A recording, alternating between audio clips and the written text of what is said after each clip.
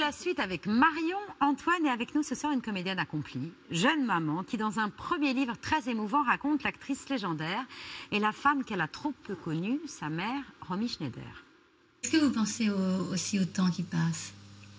Je veux dire, est-ce que vous pensez que le temps peut abîmer votre beauté?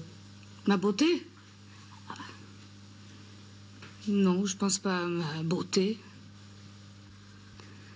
Je pense que le temps passe trop vite pour ma vie. Ma vie, ma vie, ma vraie vie. Et euh, c'est parfois un peu difficile de lier le métier et la vie privée ensemble, ça c'est vrai. Comme j'ai fait un grand arrêt, une grande pause pour, pour ma petite Sarah, euh, j'ai eu un peu de difficulté de, de me remettre dans le métier. Bonsoir Sarah Gazzini. Bonsoir. Bonsoir. Merci de votre présence ce soir à l'occasion de la beauté du ciel, ce surnom que vous donnez à votre fille. Anna, la beauté, il en est question dans cette archive de 1978. Et cette préoccupation constante de votre mère, c'est pas la beauté, c'est le temps qui passe trop vite et qui l'empêche d'être avec vous et d'être dans la vraie vie. C'est magnifique. heureusement que je la connaissais cette interview parce que je l'aurais découvert avec vous, ça aurait été plus. Euh, oui, oui, oui, oui, oui, oui. Être dans la vraie vie, c'est ce qui vous préoccupe aussi. Et c'est ce que j'ai trouvé absolument merveilleux dans le récit que vous faites. Quand on vous arrête dans la rue et qu'on vous parle de votre mère, vous avez envie de dire, mais parlez-moi de moi, de ma vie, de Oh la non. vie que... Non, pas de moi, la comédienne. oui, non, mais moi, ce, que, ce dont j'ai envie de parler, c'est de ma vie, de la vie de... de- tous les jours. De... Oui, enfin, c'est- je suis d'accord. Je résume un peu. Je suis d'accord, mais c'est pas exact. C'est-à-dire que euh, on, me parle de l'actrice et moi, quand j'entends son, son nom, son nom d'actrice, j'ai toujours un petit. Parce que moi, ce qui m'intéresse, c'est ma mère. Et pas l'actrice dont on vient vous parler. Voilà, et un peu moins l'actrice. euh, voilà, et puis euh, d'une manière générale, les enfants se, se moquent un peu parfois du métier de leurs parents. euh, Ah oui, oui. veulent euh, leurs parents pour soi, et voilà, aussi simplement. Mais euh, voilà. Ce livre, il est touchant parce que vous y posez des questions très profondes. Comment faire le deuil d'une mère que le monde entier idolâtre? Comment devenir à son tour mère? Comment vivre lorsqu'on est habité par la mort? Personne ne veut oublier ma mère à part moi. Tout le monde veut y penser sauf moi. Personne ne pleurera autant que moi si je me mets à y penser parce que chaque fois que vous entendez son nom, vous entendez aussi Son absence. son absence. Oui, c'est vrai. C'est vrai. euh, et ce qui m'intéressait, c'était de raconter euh, comment une famille aussi euh, se débrouille avec ses morts. hein, et comment on vit avec ses morts. et comment on en parle à l'intérieur d'une famille. Alors j'ai pris la mienne parce que je la trouve très intéressante. Et c'est vrai qu'en même temps, quand euh, je suis devenue mère, euh, mais c'est valable aussi pour les pères. hein, quand on devient parent, on se pose la question de quel genre de parent on veut être, et donc on se demande mais alors quel, quel enfant j'ai été et quel, quel parent moi j'ai eu et comment je vais transmettre tout ce que je sais aujourd'hui et, et de quelle façon et, et comment je vais euh, assurer à mon enfant euh, euh, une stabilité, comment je vais lui apprendre à être solide et en même temps sensible et voilà c'est des bon des questions Universelles. sans fin et, et universelles je crois. Et hum, donc, donc je, je, je, je- voilà, je voulais parler de ça. Et puis après, je me suis rendu compte, euh, ça c'était le, le- le point de Point départ départ. du, du livre, euh, et je, je me suis rendu compte en, en découvrant euh, l'amour maternel que j'avais moi un amour très angoissé, très préoccupé parce que j'avais l'impression que elle allait mourir comme comme mon frère est mort, que, que moi j'allais disparaître, que voilà parce que je sais que les mères peuvent mourir et que les enfants malheureusement peuvent mourir avant leurs parents et ça arrive dans plein de familles. Donc j'étais déterminée quand même et conditionnée par euh, par ça. Et je voulais euh, peut-être euh, dédramatiser. Et peut-être je pense qu'aussi au fond je voulais réclamer d'avance l'indulgence de ma fille en lui disant écoute si je t'embrasse trop si je t'étreins trop si je te regarde trop pardonne-moi j'ai des raisons. Alors ce livre, on a l'impression que c'est aussi une manière de vous réapproprier un petit peu votre mère, euh, dont vous vous êtes peut-être senti dépossédé, ou en tout cas de, tracer un, portrait plus nuancé d'elle, moins caricatural.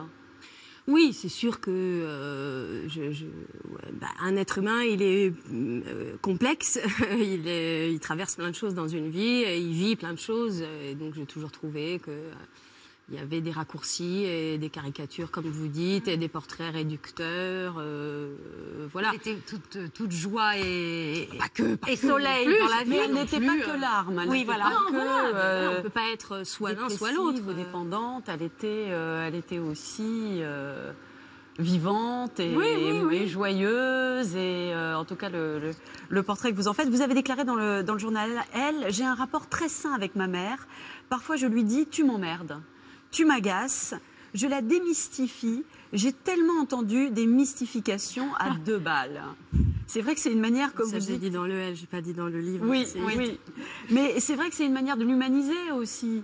Ben oui, et puis De vivre avec elle. puis Vous disiez mère, comment et puis ça suffit, déjà c'est déjà très bien et c'est voilà, euh, c'est déjà suffisant et puis euh, oui euh,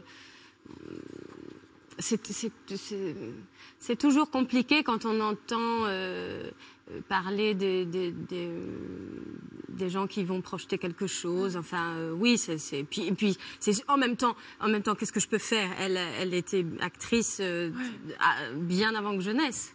Elle, elle avait une vie bien accomplie euh, avant que je naisse. Alors je, je, je partage avec le... Et, et- Avec le reste du monde. et toute cette mystification, elle-même l'a rejetée. La première star française. Oh, arrêtez ces conneries là. Je suis pas une star ni une star française. Je suis pas star du tout. J'aime pas ce mot. Excusez-moi que j'ai dit une vulgarité. hein. Mais Mais- vous, êtes une star quand même. Mais non, enfin, j'aime pas le mot. J'aime pas le terme. Comment vous vous qualifiez vous-même? Je suis une comédienne qui fait de son mieux, c'est tout, qui donne euh, le plus possible. Petit peu de. Alors pendant que vous vous euh, lavez les mains, votre fille s'appelle Anna. Vous écrivez un prénom éloigné de tes parents, du reste de ta famille, que tu pourras donc t'approprier et faire tien. Précisons que quand même parmi ses seconds prénoms, elle a celui de Roselle. Oui, mais je l'ai pas écrit. euh, je l'ai écrit différemment. Mais Oui. bon, bah, bon. Mais vous êtes ému parce que vous les connaissez, ces Oui, images. bien sûr, je les connais, évidemment. Et, et puis surtout, j'aime sa façon de parler. J'aime sa façon de parler. Je, je la trouve géniale. Elle a, tout, elle a tout, tout à fait raison. Enfin, je trouve ça très bien de parler comme ça, de ne pas, de pas se la jouer. euh, je trouve ça très Elle est géniale et hyper moderne en vrai. Enfin, c'est Oui, ce qui enfin, me frappe pas là. euh, Ouais. c'est pas au siècle dernier. euh, Bah, à 1978, si, si. c'est au siècle dernier. Pour mieux connaître votre mère, euh, Sarah Biasini, vous avez euh, aussi rencontré euh, ceux qui l'avaient côtoyée de près, ceux qui ont joué avec elle, à ses côtés, Alain Delon, Philippe Noiret, Michel Piccoli, aussi Michel Piccoli et votre mère, qui ont souvent formé un couple au cinéma. Ils ont tourné ensemble à six reprises. Il y avait un- une vraie complicité entre eux. Voici ce qu'il disait à ce sujet. C'était dans l'émission Les Nouveaux Rendez-vous, le dimanche sur TF1, il y a 40 ans euh, maintenant. Une émission présentée par quelqu'un que Marion connaît particulièrement bien, Ève Ruggieri. Il y a une très jolie phrase de vous. Vous dites Nous formons avec Romy Schneider une société à responsabilité illimitée. Oui, c'est- c'est c'est plus gai que les SARL, non? Et puis, je dois dire que Romy et moi, nous avons euh, une, sorte d'imagination, d'am- d'amusement dans le jeu, qui, peut, euh, qui nous permet de faire des choses euh, qui dépassent un peu le, bon courant du, bon goût sage. On, a, on peut se déchaîner très facilement avec elle. Voilà, vous racontez aussi votre première rencontre avec Claude Sauté, euh, réalisateur avec lequel elle a, elle a beaucoup tourné. Vous avez 20 ans, votre cœur est prêt à exploser. Vous écrivez, il est bouche bée. Je m'assois et il répétera, alors ça, quelle surprise. J'ai tout vu passer sur son visage, écrivez-vous, être pris de court, sa stupeur, son émotion devant lui, 20 ans après, la fille de son ami tant aimé, dont la disparition brutale le laissa profondément bouleversé. Claude Sauté, qu'il a dirigé à cinq reprises et qui la connaissait donc forcément très bien. On la connaît bien. C'est quelqu'un de très généreux, très spontané, très absolu. Et c'est pas seulement une- un animal d'instinct, Michel. Non, non, pas du tout. D'ailleurs, c'est une chose curieuse parce qu'elle réfléchit beaucoup, même très froidement. Mais quand elle tourne, elle tourne euh, presque totalement avec son instinct. C'est ça qui est beau. C'est pour ça qu'on peut toujours arriver à tirer des choses nouvelles.